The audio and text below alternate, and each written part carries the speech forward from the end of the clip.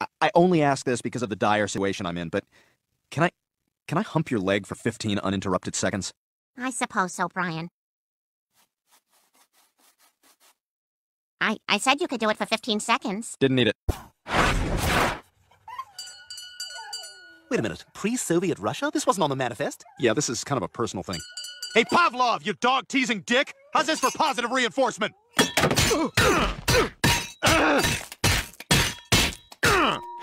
All right, where to next? I want to kill more scientists! Well, I've got a woman story for you that you're not going to believe. Quagmire's father, decorated war hero Lieutenant Commander Dan Quagmire, is now a woman. You're kidding! Nope, total sex change. Oh, that is hysterical! I know, huh? Oh man, what, what do we call him now? We, we still call him Dan? No, and I'm not crazy about the name change. What is it, like Danielle or Dana? No, Ida.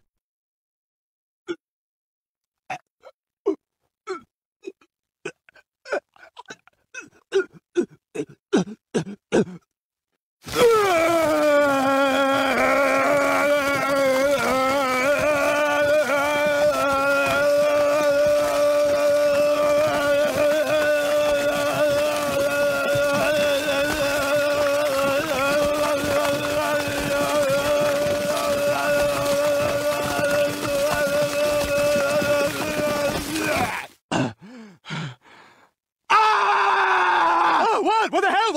you? I had sex with her! What? I had sex with her at the Marriott! Oh, why? I didn't know! I didn't know it was her! Oh my god! Ah! Ah!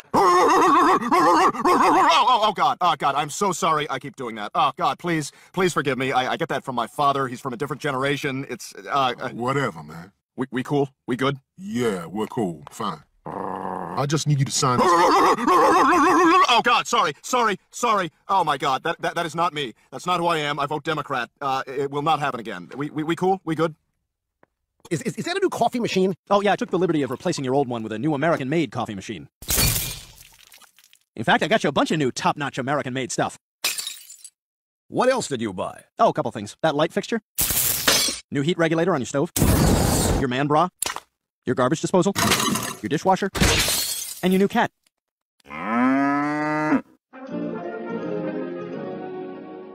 I can't believe you're still at work, Padma. It's like two in the morning. No, it is noon here. Do you not know about time zones? Oh, y- uh, yeah. Oh, that's right. You guys are on metric. Oh, you're in here? Yeah, I'm on the phone. Is uh is Chris down in the laundry room? Yeah, I think so. okay, looks like this is gonna be a stander upper in the garage. Uh oh, six percent. Better hustle.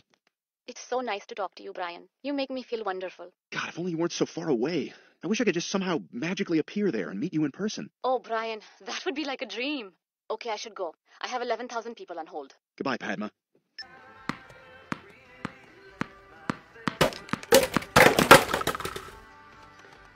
What the devil is that? It's Peter and Chris. Sounds like they're in trouble. Oh. My God, why is there vomit everywhere? Is that the ipecac bottle? Oh no.